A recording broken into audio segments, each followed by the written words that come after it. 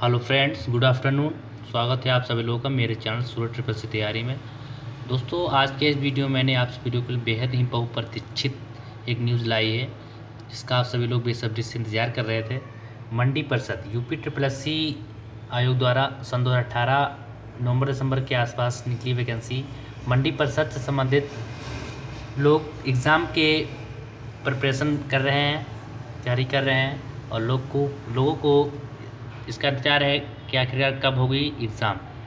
तो हम बता दें, यूपी डब्ल्यू आयोग द्वारा आज ही, यानी 6 मार्च सन 2019 को ऑब्जेक्शन लिस्ट जारी की है, जिसमें रजिस्ट्रेशन नंबर डाल के अपना नाम डाल के आप चेक कर सकते हैं।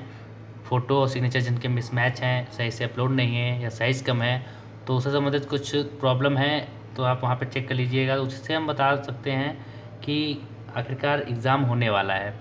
तो आगे बढ़ने से पहले मैं आप सभी लोगों को रिक्वेस्ट करूँगा, यदि अभी तक मेरे चैनल को सब्सक्राइब नहीं किया है तो subscribe my channel for latest update and hundred percent correct news दोस्तों, मैं जो बताऊँगा, सच बताऊँगा। आप सभी लोग sir Sarkari result dot com पर लॉगिन करें। फिर सरकारी रिज़ल्ट यहाँ पे आप सब लोग दिख जाएगा लेटेस्ट जॉब में। मंडी परिषद फ़ोटो सिग्नेचर ऑब्जेक्शन लिस्ट सन 2019 अब यहाँ पर जब आप क्लिक करेंगे तो यहाँ पर आप पूरी डिटेल देख सकते हैं कि एप्लीकेशन जो बिगिन हुए तो पाँच दिसंबर 2018 को शुरू हुए थे। लास्ट डेट छब्बीस दिसंबर थी। और बात रही registration last date for upload signature only for rejected candidate जो जिनका भी इस रिजेक्शन लिस्ट में है नाम, वो उनकी फ़ोटो अपलोड और सिग्नेचर अपलोड करने की लास्ट डेट जो है तेरह मार्च सन दो हज़ार उन्नीस है। तो हम सभी लोग जैसा कि यूपी आयोग कोई भी एग्ज़ाम कराने से पहले ऑब्जेक्शन लिस्ट जारी करता है। तो जैसे अभी एग्ज़ाम हुआ था जूनियर असिस्टेंट का उसके पंद्रह या बीस दिन पहले उसने ऑब्जेक्शन लिस्ट जारी की थी जिसमें जिनके फ़ोटो और सिग्नेचर सही अपलोड नहीं थे तो ऑब्जेक्शन लिस्ट जारी की फिर उसके पद, उसी के पंद्रह बीस दिन के बाद एडमिट कार्ड जारी हो गए थे। तो इसी से हम सभी लोग गेस कर सकते हैं आज डेट है छः मार्च।